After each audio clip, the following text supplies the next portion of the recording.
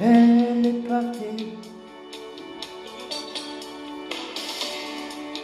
Et t'as laissé seul dans les draps salis.